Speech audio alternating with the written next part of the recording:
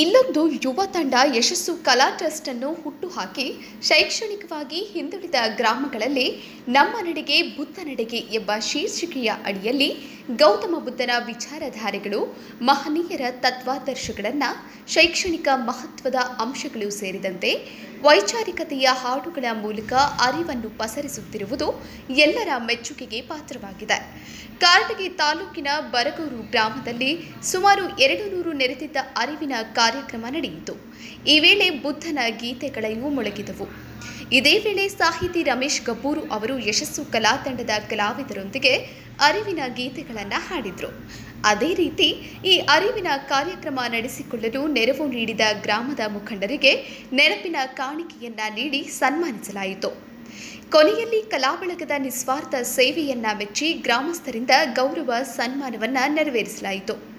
ಕಾರ್ಯಕ್ರಮದಲ್ಲಿ ಗಂಗಾವತಿಯ ಸರ್ಕಾರಿ ಪದವಿ ಪೂರ್ವ ಕಾಲೇಜಿನ ಪ್ರಾಂಶುಪಾಲರಾದ ಬಸಪ್ಪ ನಾಗೋಲಿ, ಉಪನ್ಯಾಸಕರಾದ ಪರಶುರಾಮ್ ಗ್ರಾಮದ ಮುಖಂಡರಾದ ಬಸಪ್ಪ, ಮರಿಸ್ವಾಮಿ ಹೆಗಡೆ ಪರಶುರಾಮ್ ಆಗೋಲಿ, ರಮೇಶ್, ಮರಿದುರ್ಗಪ್ಪ ಹಾಗೂ ಗ್ರಾಮಸ್ಥರು ಉಪಸ್ಥಿತರಿದ್ದರು.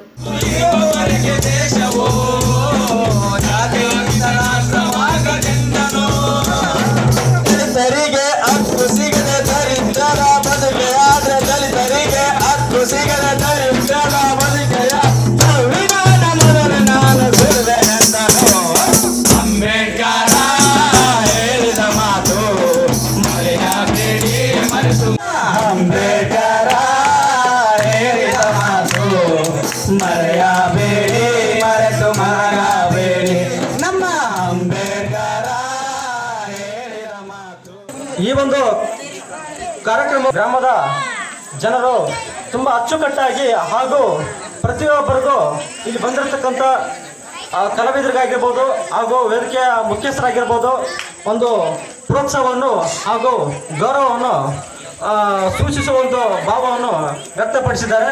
ಹಾಗಾಗಿ ಅವರು ಸಮೇತ ಈ ಒಂದು ಕಾರ್ಯಕ್ರಮ, ಕಾರ್ಯಕ್ರಮದಲ್ಲಿ ನನ್ನ ಅಭಿನಂದ, ಅಭಿನಂದನೆಗಳನ್ನು ತಿಳಿಸ್ತೇನೆ. ಅವರು ನಮ್ಮ ಕಲಾತಂಡದ ಸದಸ್ಯರಿಗೂ ಮತ್ತು ಉಪಾಧ್ಯಕ್ಷರಿಗೂ ಪ್ರತಿಯೊಬ್ಬರಿಗೂ ತಿಳಿಸಿದಾಗ ಅದಕ್ಕೆ ನಾವೆಲ್ಲ ಪ್ರೀತಿಯಿಂದ ಸಮಾಧಿ ಗೌರವವನ್ನು ಕೊಟ್ಟಿವಿ. ಹಾಗಾದರೆ ಈ ಒಂದು ಯಶಸ್ವಿ ಕಲಾ ಟ್ರಸ್ಟು ಅಂದರೆ ಏನಪ್ಪ? ಈ ಯಶಸ್ವಿ ಕಲಾ ಟ್ರಸ್ಟ್ ಬಗ್ಗೆ ಈ ಒಂದು ಯಾವಾಗ ರಚನೆ ಆಯಿತು? ಅಥವಾ ಯಶಸ್ವಿ ಕಲಾ ಟ್ರಸ್ಟ್ನ ಉದ್ದೇಶ ಏನು? ತತ್ವಗಳೇನು? ಅಥವಾ ಯಶಸ್ವಿ ಕಲಾ ಟ್ರಸ್ಟ್ ಹೇಗೆ ರಚನೆ ಆಯಿತು? ಅದಕ್ಕೆ ಪ್ರಭಾವ ಬೀರ್ತಕ್ಕಂಥ ವ್ಯಕ್ತಿಗಳು ಯಾರು? ಏನಾದರೂ ಕುರಿತು ಪ್ರತಿಯೊಬ್ಬರಿಗೂ ಒಂದು ಕೇಳುವಂಥ ಆಸಕ್ತಿ ಇದೇ ಇರುತ್ತೆ. ಹಾಗಾಗಿ ನಾನು ನಮ್ಮ ಯಶಸ್ವಿ ಕಲಾ ಟ್ರಸ್ಟ್ ಬಗ್ಗೆ ಒಂದೆರಡು ಮಾತುಗಳನ್ನು ಹೇಳಲಿಕ್ಕೆ ಇಷ್ಟಪಡ್ತೇನೆ. ಟ್ರಸ್ಟ್ನ ಉದ್ದೇಶ ಏನು? ತತ್ವಗಳೇನು? ಅಥವಾ ಯಶಸ್ವಿ ಕಲಾ ಟ್ರಸ್ಟ್ ಹೇಗೆ ರಚನೆ ಆಯಿತು? ಅದಕ್ಕೆ ಪ್ರಭಾವ ಬೀರ್ತಕ್ಕಂಥ ವ್ಯಕ್ತಿಗಳು ಯಾರು? ಎಂದು ಕುರಿತು ಪ್ರತಿಯೊಬ್ಬರಿಗೂ ಒಂದು ಕೇಳುವಂಥ ಆಸಕ್ತಿ ಇದೇ ಇರುತ್ತೆ. ಹಾಗಾಗಿ ನಾನು ನಮ್ಮ ಯಶಸ್ವಿ ಕಲಾ ಟ್ರಸ್ಟ್ ಬಗ್ಗೆ ಒಂದೆರಡು ಮಾತುಗಳನ್ನ ಹೇಳಲಿಕ್ಕೆ ಇಷ್ಟಪಡ್ತೇನೆ. ನಮ್ಮ ಯಶಸ್ವಿ ಕಲಾ ಟ್ರಸ್ಟ್ ರಚನೆ ಆದದ್ದು ಎಲ್ಲರ ಮನಸ್ಥಿತಿಯಲ್ಲಿ ಮನಿಲ್ಲ ಯಾಕಂದ್ರೆ ಒಂದು ಕಲಾ ಟ್ರಸ್ಟ್ ನಾವು ರಚನೆ ಮಾಡಿರ್ತಕ್ಕಂಥದ್ದು ಪ್ರತಿಯೊಬ್ಬ ವಿದ್ಯಾರ್ಥಿ. ಪ್ರತಿಯೊಬ್ಬ ವಿದ್ಯಾರ್ಥಿಗಳು ನಾವೆಲ್ಲ ಸೇರ್ಕೊಂಡು ಒಂದು ಕಲಾ ಟ್ರಸ್ಟನ್ನು ರಚನೆ ಮಾಡಬೇಕು ಅಂತಂದು ತದನಂತರ ಆಲೋಚನೆ ಬಂತು. ಆಗ ಒಂದು ಕುಂಟೋಚಿ ಗ್ರಾಮದಲ್ಲಿ ಈ ಯಶಸ್ವ ಕಲಾ ಟ್ರಸ್ಟ್ನ ರಚನೆ ಮಾಡುವ ಒಂದು ಕುರಿತು ಒಬ್ಬ ಮಾರ್ಗದರ್ಶಕರು ಬೇಕಾಗುತ್ತೆ. ಸೊ ಹಾಗಾಗಿ ನಮಗೆ ಮಾರ್ಗದರ್ಶನವನ್ನು ಸಂಪೂರ್ಣವಾಗಿ ಕಲಾ ಟ್ರಸ್ಟ್ ರಚನೆಗೆ ಸಂಪೂರ್ಣವಾಗಿ ಮಾರ್ಗದರ್ಶನ ಸಿಕ್ಕಿದ್ದೆ ಆದರೆ ಅದು ರಮೇಶ್ ಗಬ್ಬರ್ ಸರಿಂದ ಮತ್ತು ಅನ್ವೇಶ್ ಗುಂಡ್ರ ಅಂತ ನಾನು ಹೇಳಲಿಕ್ಕೆ ಇಷ್ಟಪಡ್ತೇನೆ. ಈ ಒಂದು ರಚನೆಗೆ ಮೂಲ ಬುನಾದಿನೇ ಇವರಂತ ಈ ಸರ್ ಅಂತ ನಾವು ಹೇಳ್ಬೋದು. ಜೊತೆಗೆ ನಮ್ಮ ಕಲೆಕ್ಟ್ರಸ್ಟು ಟ್ರಸ್ಟು ಪ್ರಾರಂಭ ಆಯಿತು. ಪ್ರಾರಂಭ ನಂತರ ನಮ್ಮ ಕಲೆಕ್ಟ್ರಸ್ಟ್ ಕೆಲವೊಂದು ಕಾರ್ಯಕ್ರಮಗಳನ್ನು ನಾವು ಮಾಡಿಕೊಡ್ಬೇಕಾಗುತ್ತೆ. ಆಗ ನಾವು ಆರು ಜುಲೈ ಎರಡ್ ಸಾವಿರದ ಇಪ್ಪತ್ತೊಂದರಂದು ನಮ್ಮ ಕಲೆಕ್ಟರ್ ವತಿಯಿಂದ ರಾಮಲೆಪ್ಪ ರಾಮಸಾಗರ್ ಸರ್ ರಾಮಸಾಗರ್ ಸರ್ ಅವರ ವೃತ್ತಿ ಶಿಕ್ಷಕ ವೃತ್ತಿಯಿಂದ ನಿವೃತ್ತಿ ಆದಾಗ ಅವರು ಬೀಳ್ಕೊಡುಗೆ ಕಾರ್ಯ- ಕಾರ್ಯಕ್ರಮವನ್ನು ಹಮ್ಮಿಕೊಂಡಿದ್ದರು.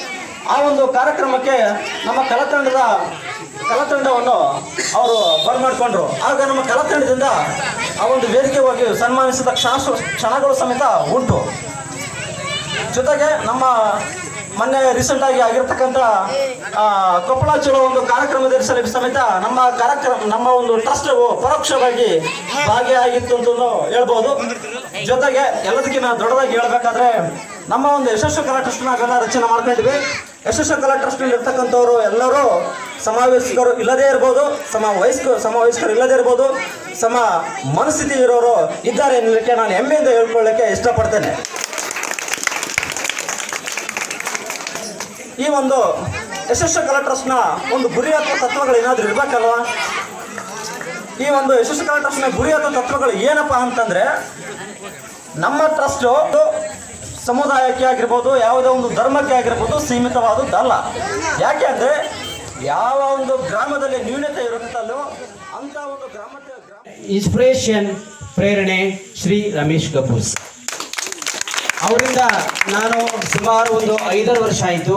ಅವ್ರ ಜೊತೆಗೆ ಇದ್ದೇನೆ ಅವ್ರು ನನಗೆ ಹಾಡೋದು, ಮಾತನಾಡೋದು, ವಾದ್ಯಗಳನ್ನು ನುಡಿಸೋದು ಅನೇಕ ಎಲ್ಲ ಕಲಿಸಿ, ಬರಗುರು ಮಾತ್ರ ನೋಡುವಂತಹ ಹುಡುಗನ್ನ ಇಡೀ ಕರ್ನಾಟಕ ರಾಜ್ಯದಂಥ ಅನೇಕ ಕಾರ್ಯಕ್ರಮಗಳಲ್ಲಿ ನಾನು